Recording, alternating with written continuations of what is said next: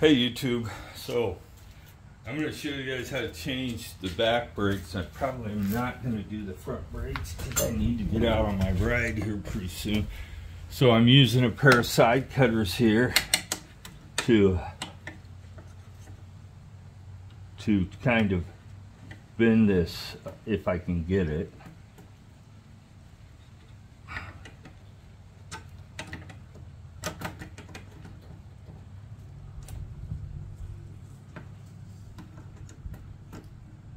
I guess I'm gonna have to use regular pliers.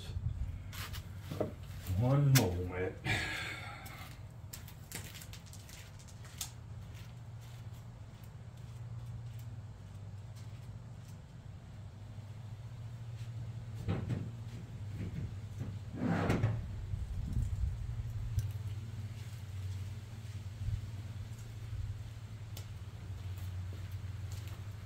It's a uh, really short Allen, I mean uh, cotter key, so that's why I'm having problems getting it off. We'll try these needle nose.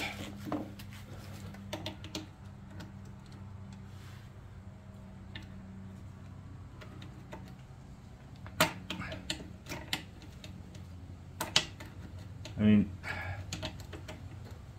it isn't. It isn't really you should use a little longer one than that.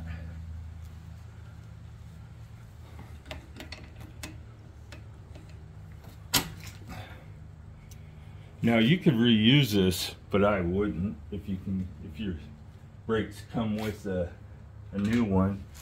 Now all you have to do is push this push them out and you've got a spring there and then the two pads. And if you can see, the pads are just now starting to disintegrate a little bit. They're uh, glazed over and they're not, I mean, even though there's quite a bit of life left, there's, I could sand those off and maybe get them to work for a little bit longer, but uh, it's not really worth it. So you cannot touch your brake levers at all when you're doing this until you're ready to set the pad distance. But uh, you can clean your stuff off and make sure you're set there. Now I have to grab the brake pads. What did I do with those? Probably, oh there they are. I could not buy Shimano ones at the bike shop unbelievably they didn't have it said it would take about a couple days to order them in and i just said okay never mind i'll just buy off amazon so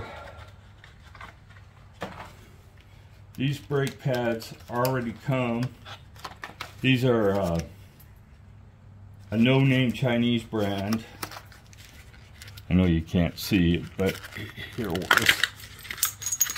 oh crap. the whole the whole thing uh, popped loose. And the, the reason I wanted to show you how they came was because they already came with a uh, a device holding them so you could just stick them in and put the cotter pin through. So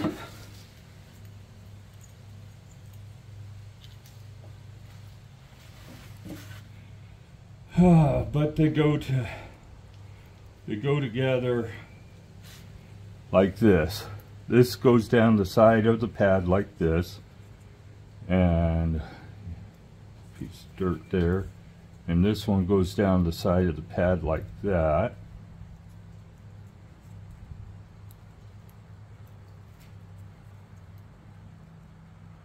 And these spread, and this spreads the uh, uh, the brakes apart and then you just shove them up into their slot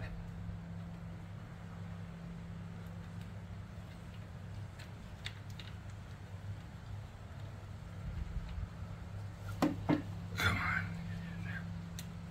Oh, I think I got him cockeyed in there. Yeah, this one, this one came out of its its spot. It had you have to have them set like this. So The spring goes on the inside of the pad like this.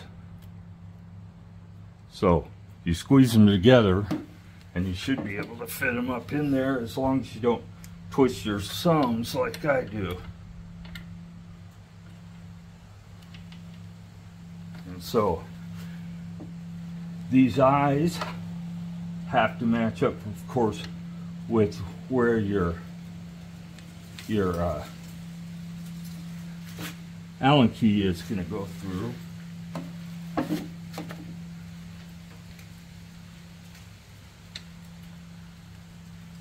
And if the Allen key goes through them, then they're lined up properly. And then you just take your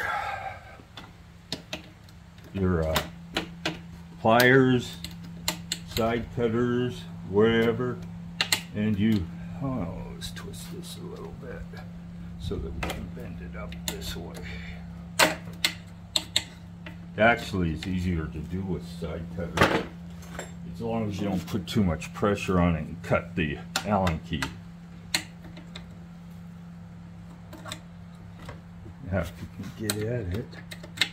It's so much easier to do sometimes with uh, uh, and that's all you have to bend up one side. And then your uh, your brakes are in there. Uh, I don't think I need to adjust them because it, they're probably set wide enough apart but uh, you these did send a tool with this. But we'll go ahead and show it to you anyway. It's a piece of uh, it's for setting your caliper distance. Now what they want you to do is uh, put this over the top of your caliper and slide your your uh, wheel in there. But I don't think I need to. It's it's fine. But this is you slide this over your caliper slide your wheel back in and then you can squeeze your uh, uh, you'll squeeze the brake pads out and set your distance right. So uh, I'm not going to use it because I'm got actually I'm going to change the uh, the tires on the bike today. Uh, you guys want to see what we got? Let's put you out here and I'll grab one of the tires and zoom you out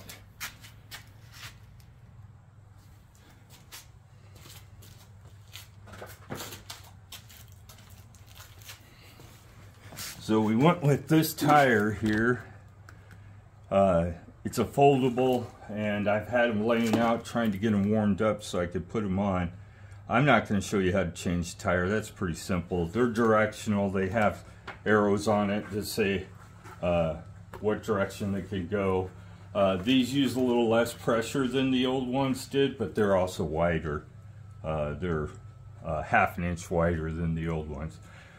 So that being said, I'm going to sign off and uh, let you guys get on to whatever you're going to do for the day and uh, have a great day.